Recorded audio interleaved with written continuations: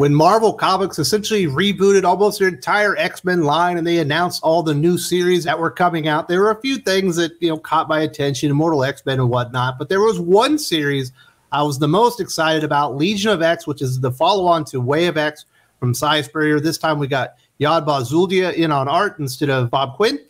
And here talking to talk with me about that is my good friend Doc. How you doing, Doc? I am well, sir. I am glad to be here, and uh, let's talk some, well, X Men, I guess.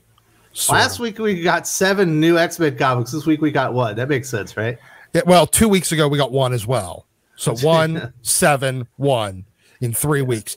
Get your fucking shit together, Marvel. Yeah, if you're only going to deliver one X Men comic in a week, make it a good one. I don't even know what this Legion of X number one is, Doc. What no, is well, the point of this comic book? You know, when I read Way of X, I'm like, oh wow, Si Spurrier might have turned a little bit of a corner here.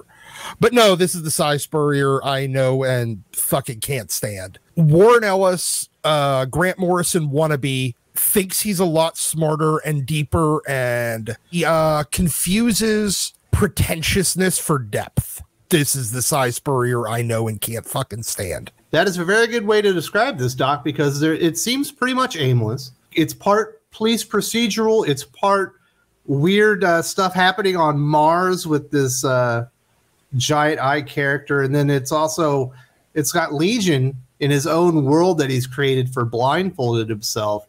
And none of it really comes together well. There's so many things introduced in here, but none of them stand out for any good reasons.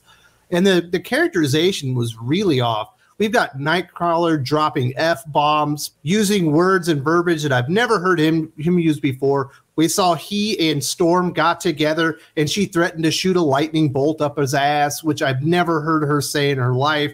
You know, and called him Indigo Boy this is um Si Spurrier not giving any fuck about characterization the same way he has never given any fucks about characterization. He almost did during Way of X nothing here really like we got to that stuff with Mars. Yeah, first you have Storm threatening to shoot a lightning bolt up his ass.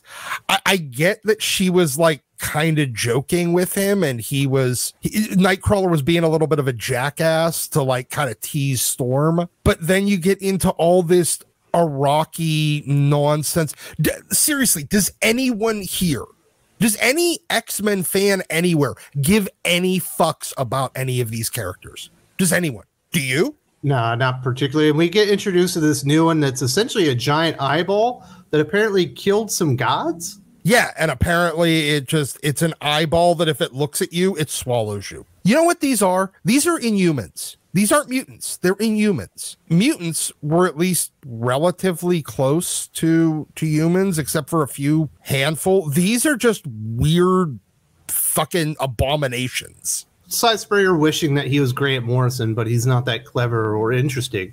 So you get this stupid character, and I guess the big thing about the Nightcrawler story about going to Mars and meeting this character that wants to bone him. Apparently, one of these Arakkii gods, even though the Iraqis don't believe in gods, or they do believe in gods, but none of them have been good enough for him, the god of mischief, or whatever it is, has escaped and presumably is on Krakoa. The, apparently, there's another Loki. Escaped from whatever weird thing that they do where they summon deities and but that one ran away or something. They think it's on Arakko or on krakoa what, what I, I don't understand why i need to care about this yet.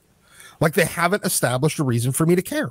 I'm with you. I don't care about any of this stuff. And of course he's really interested in legion. We knew that from the beginning. And he's got this weird story where legion has created this alternate universe where blindfold i guess and he can sit by this altar and I guess they can live happily ever after, but she doesn't want to be a precog anymore, so she refuses to have like a physical form. She's still uh, like in the astral plane or something, and he doesn't get why. But apparently, she saw Nimrod murder Warlock's dad. I, I don't understand where this is going. This is just him throwing random shit together. There, there's no connection here. Okay, fine. Blindfold if she's has a body, then she can't control the neural impulses that blah, blah, blah, blah, blah. I don't give a fuck. Now she can't see the future. She can just randomly see shit across the universe. Maybe that's what he was getting at. I, I just had a whole load of don't give a fuck about really anything going on here. There's so many stupid like just things that are thrown in here. You've got the the one team that worked for Nightcrawler because he's the sheriff. If you didn't know that, Nightcrawler is the sheriff of Krakoa, and he's got his own police squad.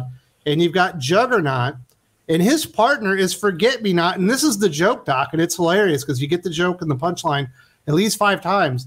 Juggernaut can't remember that Forget Me Not is his partner because he keeps forgetting. This is that character that Matthew Rosenberg introduced back in that worst X Man ever miniseries he did like I don't know, five, six years ago. A mutant that apparently has been on the team since the beginning, and his power is nobody remembers him. Yuck, yuck, yuck.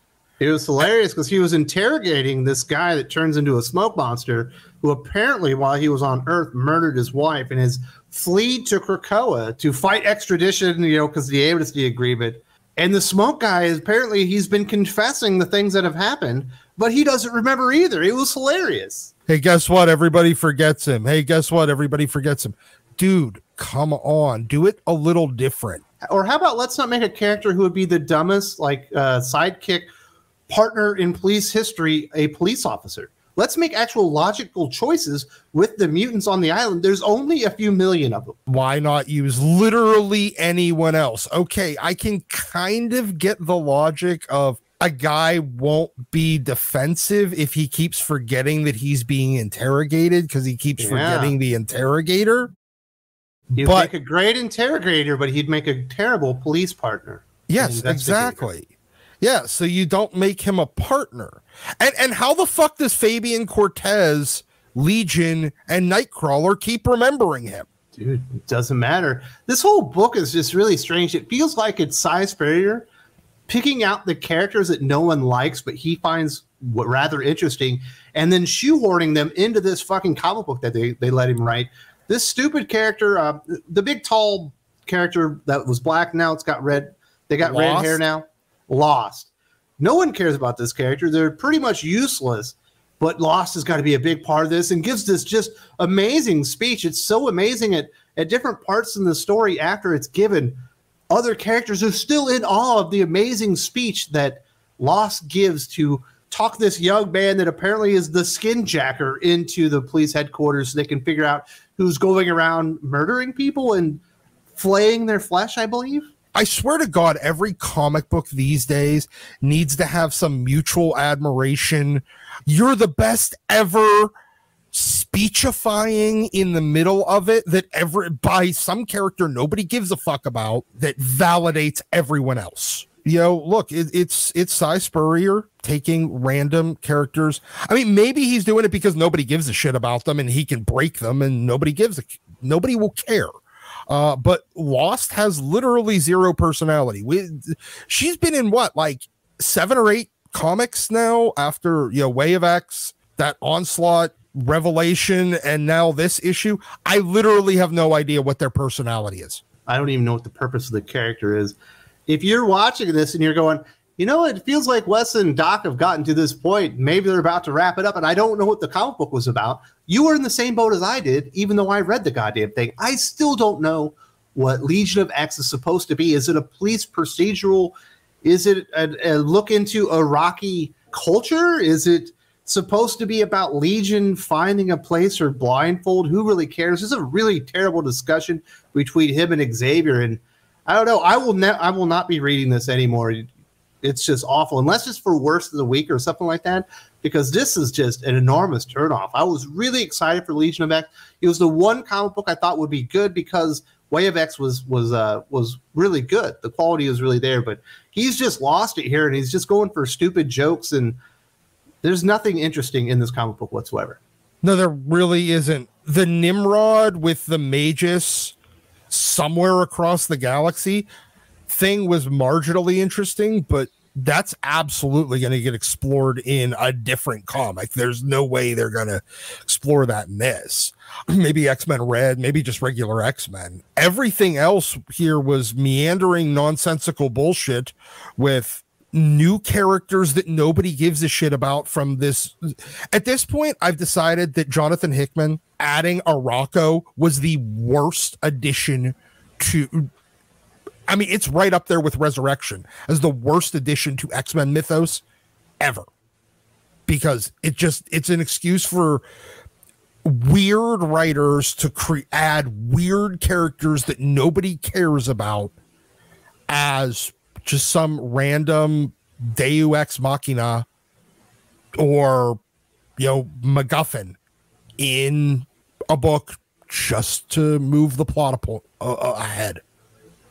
And I yeah, hope they all even, die.